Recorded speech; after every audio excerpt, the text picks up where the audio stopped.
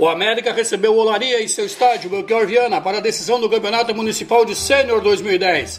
Aos donos da casa, bastava empatar o tempo normal e a prorrogação para conquistar o título. Aos 10 minutos, Tadeu Bauru do América assustava o goleiro Leandro com uma cobrança de falta.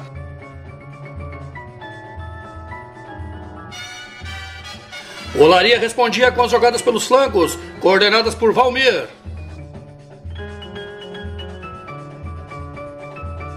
No início do segundo tempo, o árbitro Hélio da Silva marca pênalti do goleiro Aluir em Flávio. Valmir cobrou e marcou. Olaria, 1 a 0.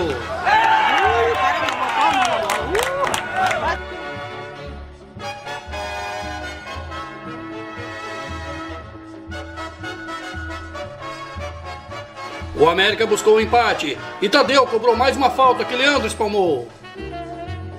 No apito final, a comemoração ficou por conta do Olaria, campeão sênior 2010. É ser o goleador do jogo e ganhar o título.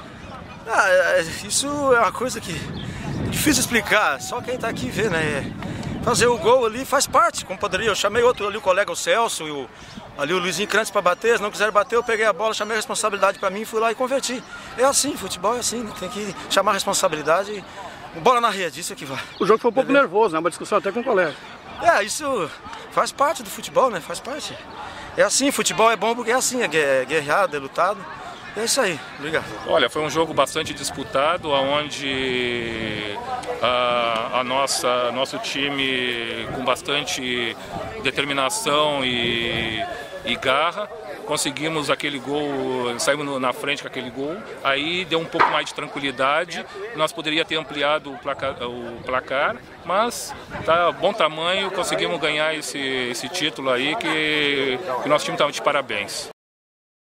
Ah, isso é muito importante, né? É, não é técnico, nós temos um colaborador, né? Nossa equipe é muito tem muita união, um grupo bom, então é por isso que nós chegamos a esse título aí, com muita dificuldade nós chegamos.